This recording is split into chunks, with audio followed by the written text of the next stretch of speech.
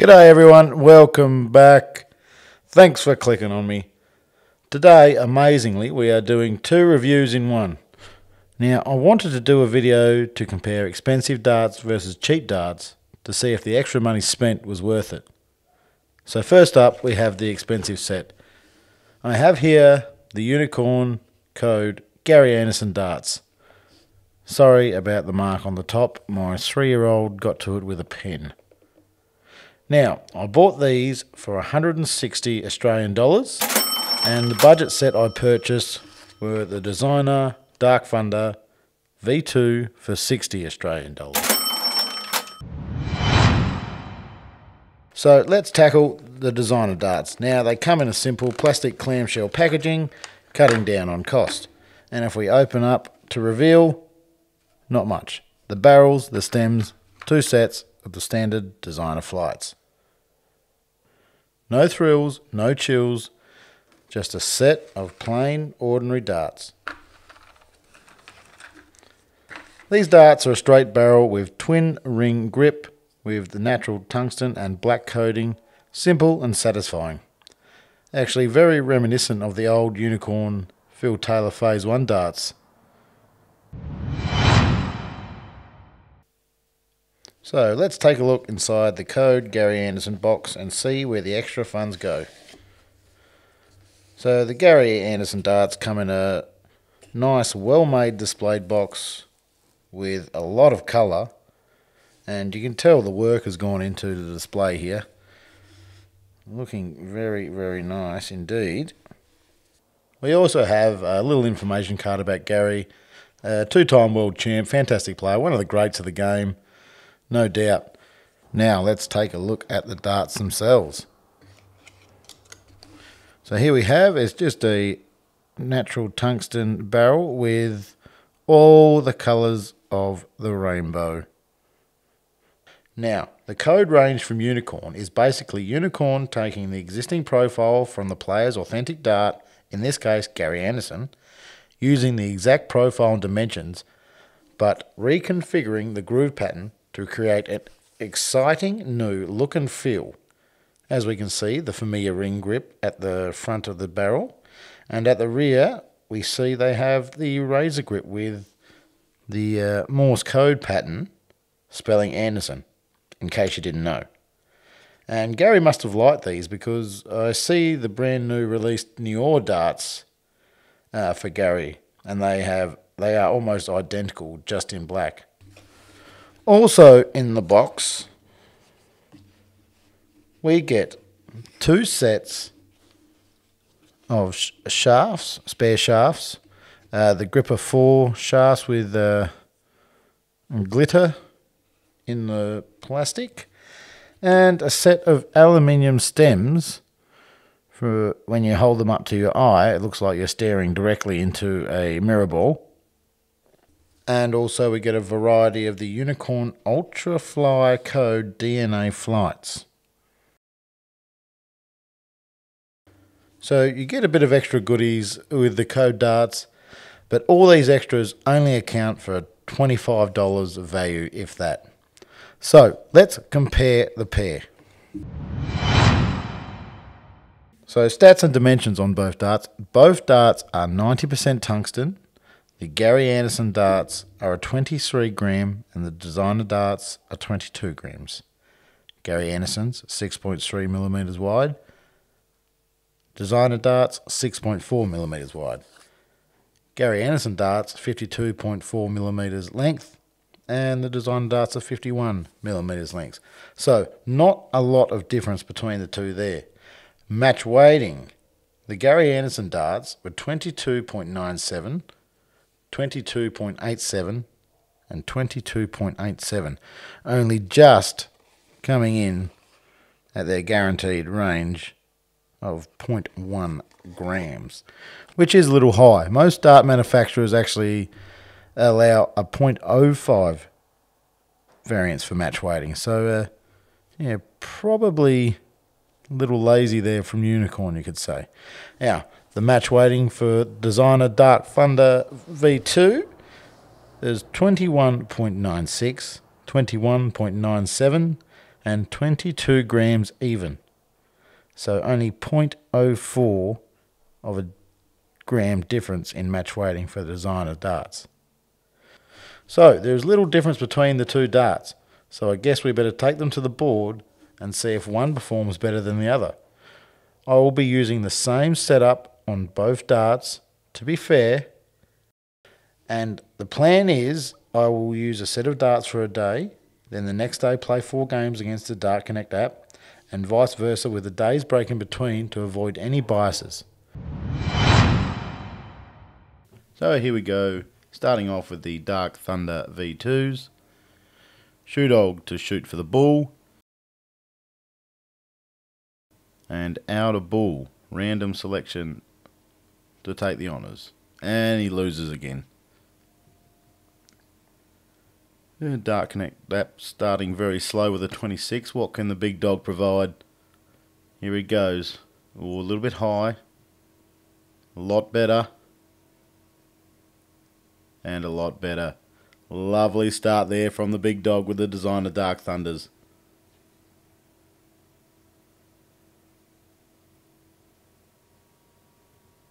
Dark Connect that following the 26 with a pitiful 11. Getting an easy ride. Nice looking dart just outside the treble. Touch high with the second. And just still a touch high with the third. A good 60 just to keep the scoreboard ticking over nicely. Dart Connect that finally getting some scores on the board with an 85. And here goes the dog. 20, triple 20, 20. Oh, down the bottom for 99. Good switch there from Dane. Not a bad scoring rate at the moment. Here comes the Dart Connect that now. 125, hitting back really hard. Got to keep on his toes here, the big dog. Slides one into the triple five. Down the bottom again. 54 scored. Just a little bit tit for tat with the scoring from Dane early. And Dart Connect app going back to its pitiful ways with a 22. Here he goes. Can he produce something here? He's got 80. Thinking about it. Where's he going? 16 route. 96 scored.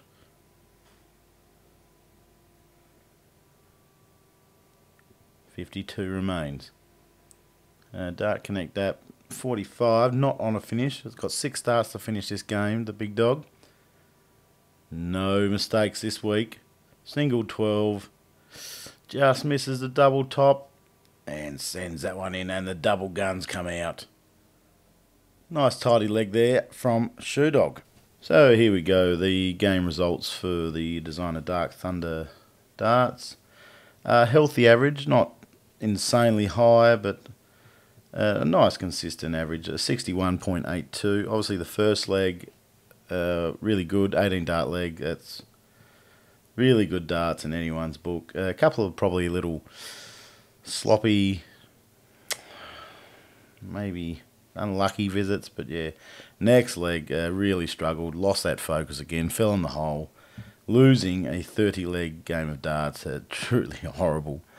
And the next two legs to follow were, were okay. Yeah, a couple of sloppy visits again, but yeah. 23 and a 26 start leg. Okay, okay. A normal night, you you you like them. They're not bad legs. So here we go to the board with the code Gary Anderson Unicorn Darts. Shoe Dog shooting for the bull. Yeah, and that's far, far too to the right there. Not very good at all. Dart Connect, that will go first again. Scoring okay with an 81 first up. Big dog just taking a sip of water, trying to compose himself. Yeah, and slides one into the triple fives early. Excellent correction. And another one sliding out. I think the grip, just on the grip of the darts, just can get away from you a little bit with these darts. Dart Connect that, 47, hitting back. There goes the dog, 20. Down to the bottom. Ooh, just outside of the treble 19, 58 scored. Needs to be a little bit better than that. Not having a real good time with these darts. Just with the aggressive grip on the rear of the darts, but a lot better there from Dane. Nice little ton. Ticking away okay. Not too bad early. Dart connect that just in front. And we got 20. Oh, a loose one. Yeah, a bit of aggression coming out of there. Not really enjoying himself here. Having to do a lot of work for very little reward. And making a mistake on the app there I seen. Should have been 45. Here he goes. Here he goes. Just missing out on the 180. Two in, one out. 82 left for the big dog. Treble 14, double tops. Easy as you like. Oh, he's gone down. He's got the cough. Oh, beautiful dart first. Can he do it? Nice little tidy. Whoa! That's way up there. And that's way too low, and he doesn't like it. He does not like that very much at all. Very frustrated. How many darts does he need? Oh, that's rubbish. Next one, yes, nails it. Got away with a good leg there. I'll have to say. We'll go and have a look at the other three games we played now. So, on to the Unicorn Code Gary Anderson game. Uh, not a wasn't really happy with the darts. The average reflects that 55.11. Obviously, we, we did get the okay first leg, 20 darts in a leg. It's it's okay. It's a good level to be at. A couple of good visits and a couple of poor visits. Just with the um, the extra grip on the rear of the darts was really finding it hard to control. I, I was, if I was letting one go, they'd just they'd go for a mile. And the second game is proves everything I said. I absolutely went to water. I was clicking on at okay. I sort of come together a little bit, and then yeah, I had double trouble. You know, and end up still winning the leg, but a 38 dart leg is is uh, putrid. Uh, third leg okay again. Kind of got back into a little bit of a rhythm. 23 darts. Yeah, nothing special but okay. And then the final leg, you know, 27 dart leg. Oh, I'm just finding it so hard to just get that consistency with these darts, and I think the uh, the scoring power and the games reflected that. So, final thoughts on the cheap versus the expensive darts video. Uh, we'll start off with the Designa Dark Thunder. You know, we'll go through what I like. A very simple design, a nice consistent grip, a nice consistent grip, and points in the board were pretty good. Black points to supplied standard were excellent. Uh, what I did not like necessarily about the darts, and it comes down to a little bit of a design flaw. You know, the Designa copying a you know 20 plus year old dart, an unnecessary second lip on the cone, and an unnecessary lip on the rear of the barrel as well. Um, look, the design could have been a hell of a lot better if they just smoothed all that out. You know, it helps with deflections, and they do get banged up a little bit as well. So, yeah, not really good there from Designa. But other than that, not too much to say about Designa darts. They're just very simple, but a few things there they could easily change, make them a little bit better dart. Designa darts overall rating, I give the grip level a 5 out of 10. Yeah, very nice, subtle grip. That worked really well. Uh, design 6 out of 10, as mentioned. If they just fix those unnecessary lips at either end of the barrel, could have been a 8 or 9 dart on design. Uh, quality, I gave them a 7 out of 10. Match weighting was okay. Uh, everything else, it pretty standard. Uh, and the you know, the flights and the stems complete with the, the dart setup. Nothing too outrageous, so just a 7 out of 10 for quality. Performance of the darts I found uh, very good. Uh, yeah, it's just a nice consistent grip. It was easy to throw and performed quite well. Uh, 7 out of 10 for performance. And value, as I said, $60 Australian. Fantastic price. Uh, fantastic price for a 90% tungsten barrel dart. 9 out of 10 for value, which gives the Designa a 7 out of 10, which is a very good score for a $60 dart.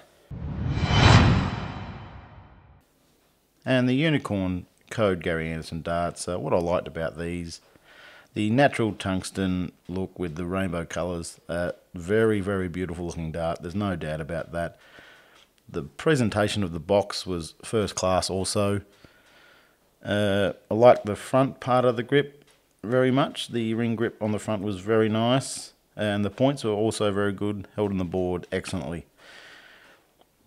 Things I didn't particularly like on the code Gary Anderson darts. Uh, the match weighting could have been a lot better. Uh, Unicorn only offer 0.1 of a gram for match weighting, which is nearly double for other manufacturers. Uh, most manufacturers offer a, you know, 0.05 gram differential when uh, match weighting. So yeah, could have been a lot better there from Unicorn. And also, I really wasn't a fan of the razor grip at the the end of the barrel. I am a rear gripper and just the inconsistencies in the grip made it really hard to control the dart sometimes. I was losing control of many darts when throwing these, so wasn't a huge fan of that. Uh, it was a shame too, because the front part of the grip was really nice, and yeah, just the razor grip on the end was, just made me struggle just a little bit with the control of the dart. I wasn't a big fan of the Gripper 4 stems that come with the Gary Anderson darts either.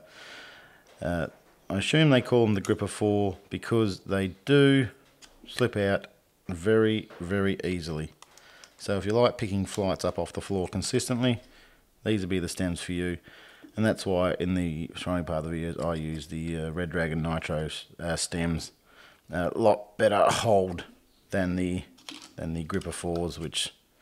And I will be honest, fair enough, they are a only a 75 micron flight, but yeah, geez, it could have been a lot better than that.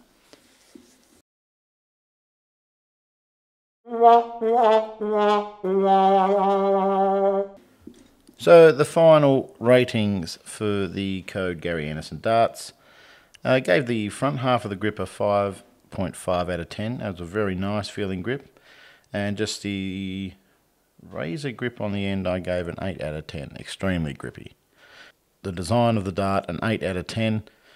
Said a very great looking dart. The design looks fantastic, so a great job there from Unicorn. But unfortunately, quality, I had to give them a 6 out of 10. Just with the match weighting and the the stems and flights provided, uh, not particularly very good.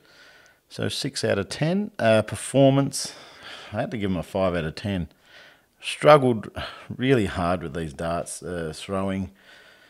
Did not make me feel confident whatsoever with just the, uh, you know, the two different grips on the barrel and me being a rear gripper. Yeah, something I struggled with and really couldn't get the best out of them. So with that, I gave them a 5 out of 10 for performance. Uh, value of the darts, as I said, $160 Australian I paid for these darts and realistically, you can't use any of the hardware provided because nothing's any good. The quality should be a lot better. So unfortunately, I gave them a 4.5 out of 10 for value, which gives the total ranking for the Code Gary Anderson darts a 5.5 out of 10. So in summary, if you were to purchase a cheaper dart over an expensive dart in this uh, situation, the Dark Thunder V2 came well on top over the Code Gary Anderson darts. And there's a lot more versatility if you did purchase these darts. They come in a lot more different range of weights. And you could purchase three sets of these, all different weights to try at home for the cost of one set of the code Gary Anderson darts. So, yeah. So don't be fooled by pricing and buying darts. Thanks, guys, for watching the video. I hope you really enjoyed it. If you did, leave a like and subscribe to the channel. Your support means everything to me, and I thank you all for watching.